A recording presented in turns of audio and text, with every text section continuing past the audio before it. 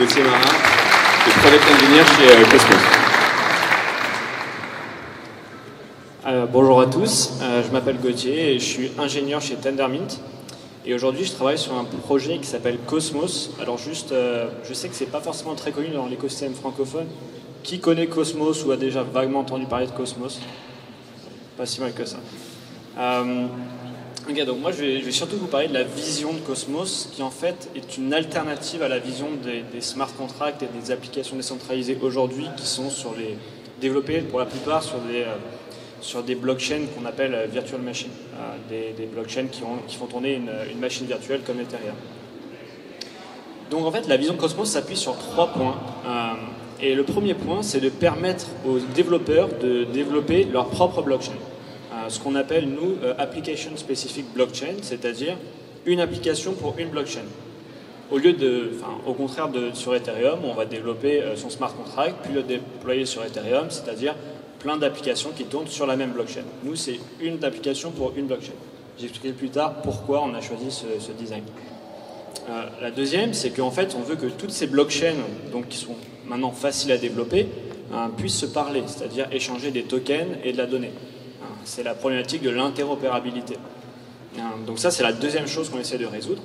Et la troisième chose qu'on essaie de résoudre, c'est la problématique de la scalabilité, c'est-à-dire de, la, montée à l'échelle, euh, qui aujourd'hui, quasiment sur toutes les blockchains, on a des problématiques de scalabilité. Euh, nous, on essaie de régler cette problématique. Donc je vais expliquer un petit peu comment on arrive à ça. Donc le premier point, c'est permettre aux gens de déployer leur propre blockchain facilement. Et donc là, c'est là où le, le produit Tendermint rentre en jeu. Donc euh, pour ça, il faut un peu revenir en 2014. Donc en 2014, si on voulait dé- développer son application décentralisée, on n'avait pas beaucoup de choix.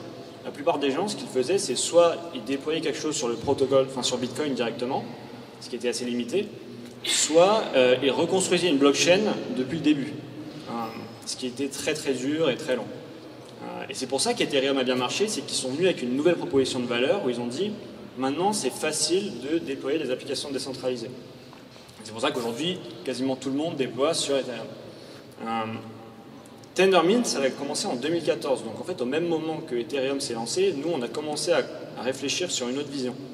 Et on s'est dit, au lieu de faire une seule blockchain sur laquelle tout le monde va construire son application, on va créer un moteur, d'accord, qui va permettre à chacun de créer sa blockchain facilement, ce qui n'était pas possible avant. Bon, pour comprendre comment ce moteur fonctionne, il faut comprendre euh, comment une blockchain est constituée. En gros, il y a trois couches fondamentales. Il y a la couche réseau, euh, qui en fait euh, est la couche qui propage les messages.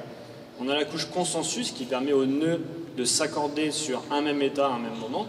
Et on a la couche application, qui en fait donne du sens au message et en fait dépend euh, du cas d'usage. C'est ce qu'on appelle la business logic. Par exemple, pour Bitcoin, c'est des comptes avec des balances. Pour une application de gouvernance, ce serait bah, les règles qui régissent cette gouvernance. Et donc Tendermint, en fait, ce qu'elle fait, c'est qu'elle va proposer en tant que moteur les couches réseau et consensus. De, telle sorte que le développeur n'a plus qu'à se, concentrer sur la couche application. Euh, et ces couches réseau et consensus sont à la fois difficiles à, développer, et donc on, on propose un moteur qui est donc puissant, et mon développeur peut ensuite voilà, vraiment se concentrer sur la couche application. Euh, Mais en plus, Tendermint a beaucoup euh, d'avantages. Donc le premier avantage, c'est que cette couche application peut être développée dans le langage de programmation qu'on veut. Euh, Donc on n'est pas limité à Solidity, on peut le développer en C, en C++, en Go, en Haskell, en ce qu'on veut. Euh, Le deuxième avantage, c'est que Tendermint, c'est euh, un, moteur blockchain très très performant dans le sens où, premièrement, il est ce qu'on appelle Byzantine Fault Tolerance, BFT. Pour la petite note, aujourd'hui BFT c'est un mot qui revient assez souvent dans le monde de la blockchain. Mais il faut savoir que euh, en 2014, c'est euh, le CEO Tendermint Jay Cohn qui a été le premier à retourner sur les papiers de 1980 euh, et, ramener cette recherche BFT dans le monde de la blockchain. Et aujourd'hui, Ca- Casper de, Ethereum et d'autres pour le proof of stake s'en servent. Donc Tendermint, c'est un moteur BFT. Il a deux propriétés intéressantes parmi beaucoup, qui sont instant finality, ce qui veut dire qu'une fois qu'une transaction est incluse dans un bloc, elle ne peut pas être annulée. Et la deuxième, c'est euh, le lag client qui est très facile à implémenter sur Tendermint, ce qui n'est pas le cas sur les blockchains proof of work. Euh, et un, autre point aussi intéressant, c'est que Tendermint permet de développer des applications à la fois, enfin, des blockchains à la fois publiques et privées. Euh, donc que votre use case soit pour une blockchain publique en proof of stake, une blockchain privée en proof of authority ou autre, vous, pouvez le faire sur Tendermint. Donc maintenant, on a plein de blockchains faciles à développer avec ce moteur. Mais le fait que toutes ces blockchains soient développées sur un moteur qui a la, propriété de instant finality que je vous ai dit, ça permet en fait de les connecter entre elles. On a développé un, protocole qui s'appelle IBC, Inter-Blockchain Communication Protocol, qui permet de connecter des blockchains qui ont cette propriété de finalité entre elles, de manière décentralisée évidemment. Aujourd'hui, on sait déjà connecter des blockchains de manière centralisée. Ce qu'on ne sait pas, c'est les connecter de manière décentralisée. Donc on a ce protocole maintenant IBC qui permet de connecter des blockchains qui ont euh, la finality. toutes les blockchains développées sur Tendermint l'ont, mais par exemple d'autres blockchains comme Casper a aussi cette problématique, euh, cette, cette, propriété de finalité. Euh, donc maintenant on peut connecter les blockchains entre elles. comment on passe à un réseau, à un internet de blockchain Ce Cosmos, fondamentalement, c'est un réseau de blockchain, un internet de blockchain, c'est-à-dire un écosystème où les blockchains peuvent se parler. donc la solution naïve, c'est de connecter toutes les blockchains entre elles. Mais bon, ça, ça ne marche pas très bien, euh, parce que Internet ne s'est pas construit comme ça pour des problématiques de scalabilité évidentes. Si on a n blockchains dans le réseau, on va, croître en n carré. Euh, ça ne tient pas très longtemps. Donc en fait, ce, euh, ce que Cosmos fait, c'est qu'on a une architecture en hub and spoke, c'est-à-dire qu'on a des hubs et des zones, et les hubs, ils agissent comme des routeurs. Maintenant, si moi je veux développer ma blockchain dans Cosmos, j'utilise Tendermint, en, quelques jours, je développe ma blockchain, et après, je mets une connexion IBC avec le hub, et je suis connecté avec tout le monde. Alors il peut y avoir plusieurs hubs, bien sûr, mais il y aura beaucoup plus de zones que de hubs. Euh, donc le Cosmos Hub, c'est ce qu'on est, en train de développer aujourd'hui euh, chez Tendermint, et ce sera la première blockchain dans Cosmos, et ça marquera le lancement de Cosmos. Euh, pour ceux qui suivent d'un peu plus près, ça devrait arriver très bientôt, d'ici quelques semaines. Et la troisième problématique dont j'ai parlé, c'est la scalabilité. Comment on y arrive? Et eh bien, En fait, on a deux, deux façons d'arriver à la scalabilité. La première, c'est que Tendermint permet à lui seul d'arriver à plusieurs milliers de transactions par seconde. Euh, et si Tendermint arrive à son maximum, c'est-à-dire que notre application euh, a trop de transactions, euh, trop de demandes de transactions, en fait, ce qu'on peut faire, c'est mettre plusieurs chaînes en parallèle avec la même application et résoudre en fait via IBC pour qu'elles se comprennent entre elles. Ça, ça s'appelle de la scalabilité verticale et ce ne sera pas avant 2019. Mais théoriquement, c'est faisable.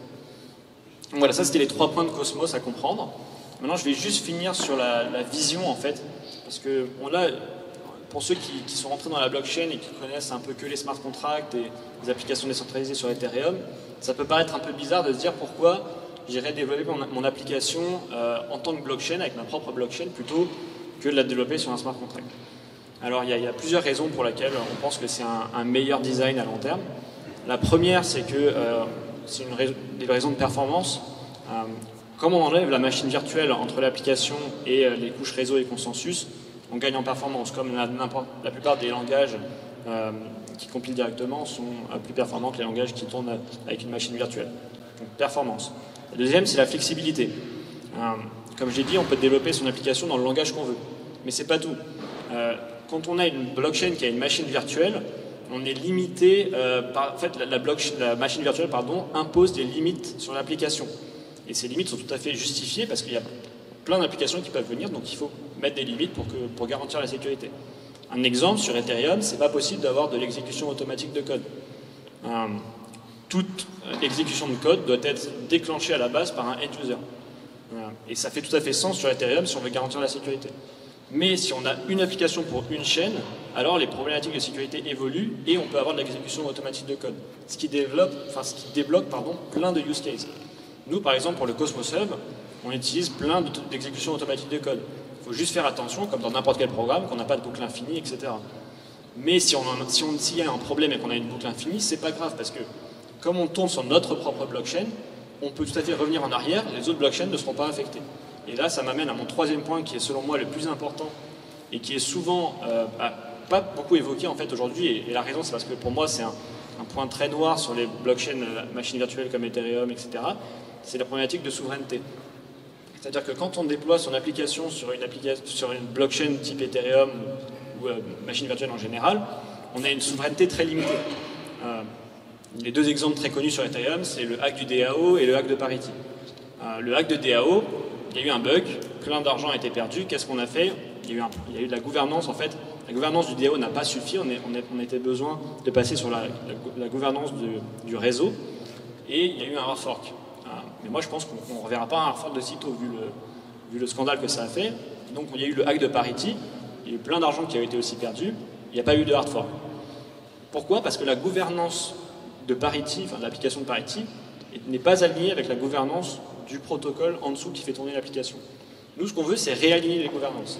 C'est-à-dire qu'une application pour une blockchain, si l'application a un problème, on peut revenir en arrière, il n'y a pas de problème parce que, encore une fois, euh, cette gouvernance est limitée à la blockchain. Les autres blockchains ne reviendront pas en arrière si une blockchain revient en arrière. Et on garde quand même cette compatibilité via Cosmos. Donc l'idée générale, c'est de dire chacun a sa propre souveraineté, sa propre indépendance, mais est quand même capable de, discuter avec les autres et de scale. Voilà, ça c'est la vision pour laquelle on pense qu'à long terme, beaucoup d'applications viendront sur la propre blockchain, au-delà des problématiques de scalabilité, au-delà des problématiques de flexibilité, il y a aussi des problématiques de souveraineté qui sont, qui sont très importantes. Donc voilà, euh, pour finir sur là où on en est aujourd'hui, euh, comme je l'ai dit, on espère se lancer d'ici quelques semaines. Cosmos, c'est un écosystème, c'est un réseau décentralisé, c'est un réseau de blockchain, donc n'importe qui aujourd'hui peut venir et construire sa propre blockchain dans Cosmos. Le Cosmos Hub, qui est développé par Tendermint, euh, parce que Tendermint c'est aussi une entreprise, euh, sera la première blockchain qui marquera le lancement de Cosmos, mais dès aujourd'hui, vous pouvez venir développer sur Tendermint. Que vous ayez un, projet privé ou un projet public, Proof of Stake, Proof of Authority, vous pouvez dès aujourd'hui construire sur Tendermint. C'est un produit stable qui est développé depuis 2014, il a été audité de nombreuses fois. Le toolkit Cosmos euh, est un peu plus récent, un peu moins stable, mais on, approche de la stabilité et d'ici quelques mois, on, pourra avoir un écosystème qui va se développer. Euh, j'ajoute enfin qu'on a plus de 50 projets aujourd'hui qui euh, sont en train de développer sur Cosmos aujourd'hui et, euh, et on espère que beaucoup d'autres les rejoindront rapidement. Merci.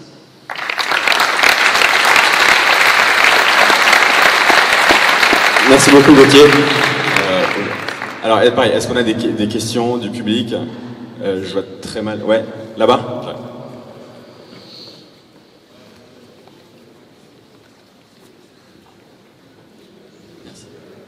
Donc, si j'ai bien compris, euh, pour qu'il y ait euh, donc cet avantage d'interopérabilité, il faut que la blockchain soit construite sur Tendermint. C'est tout? Je vais venir avec toi, ce sera plus simple.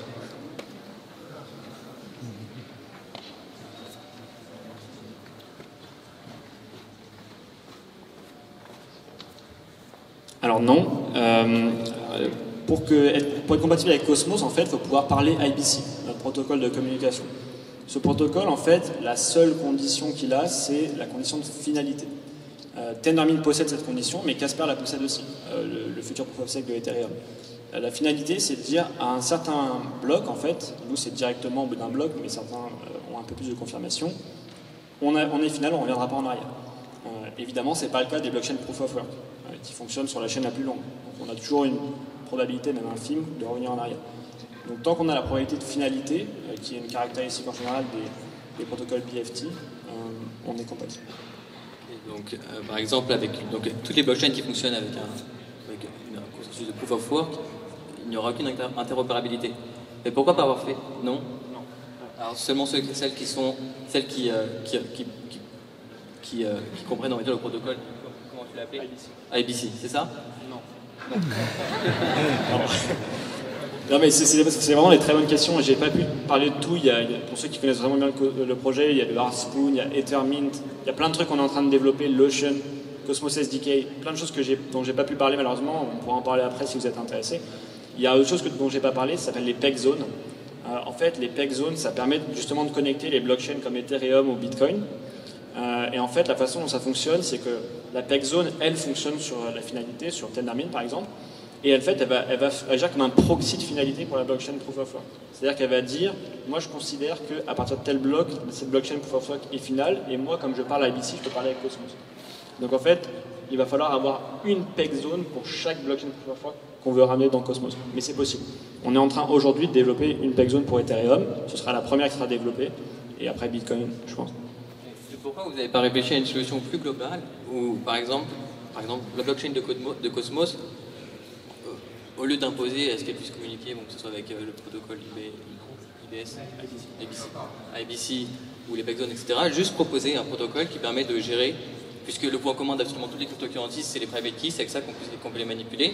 Donc avoir une blockchain qui puisse manipuler de manière très simple l'ensemble des private keys de, euh, toutes, les de toutes cryptocurrencies. Et à partir de alors, en fait, c'est une autre façon de faire de l'interopérabilité. Euh, je vais faire de la pub pour un autre projet qui s'appelle IOV, qui est un peu la même réflexion que tu viens d'avoir, qui en fait, euh, c'est plus de l'interopérabilité qu'on appelle front-end, qui se base plus sur les atomic swap. Euh, c'est utile, mais il y a... Bah, en alors, je, je, vais finir, parce que, en fait, en tout cas, c'est ce que, ce que tu, comme tu m'as dit, ça m'a fait penser à ce qu'ils font. mais donc, pourquoi, en fait, on peut pas? Parce que bon, la, la, la spécification de IBC, plus de 50 pages, donc ce serait un peu difficile d'en parler ici, mais l'idée générale, c'est que pour, parler, pour que deux blockchains se parlent de manière décentralisée, il faut qu'en fait, elles aient conscience de l'état de l'autre blockchain. C'est-à-dire qu'elles puissent savoir, euh, qu'elles puissent suivre l'état des blocs. Euh, alors évidemment, pour ceux qui, connaissent, euh, si on doit suivre l'état des blocs de toute la blockchain, ça va pas, ça va pouvoir scaler. Donc en fait, ce qu'ils ont fait, c'est que les deux blockchains qui veulent se parler, en fait, font tourner un light client de l'autre. Par exemple, moi, si j'ai la blockchain A et je veux parler avec la blockchain B, je vais faire B va faire tourner un light client de A et A va faire tourner un light client de B. Et les light clients, ils dépendent beaucoup de cette problématique de finalité.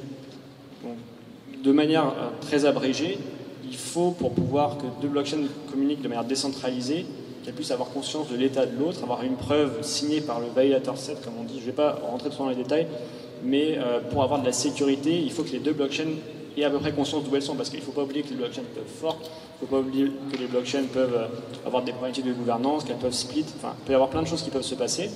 Euh, et donc en fait, on a designé IBC un peu comme un TCP/IP avec des accusés de réception, etc. Euh, c'est assez compliqué. Encore une fois, c'est juste pour des tokens pour l'instant. c'est un protocole de 50 pages, encore une fois, sur juste des tokens. Donc ce serait difficile d'expliquer le pourquoi du comment, mais, mais voilà, pour, pour, les trucs des private j'ai peut-être pas très bien compris, mais ça m'a fait penser à IoT. C'est tout, c'est juste ça. On va en parler. Euh, merci, Gauthier, merci euh, Rudy pour tes questions, merci Jenna d'être venu.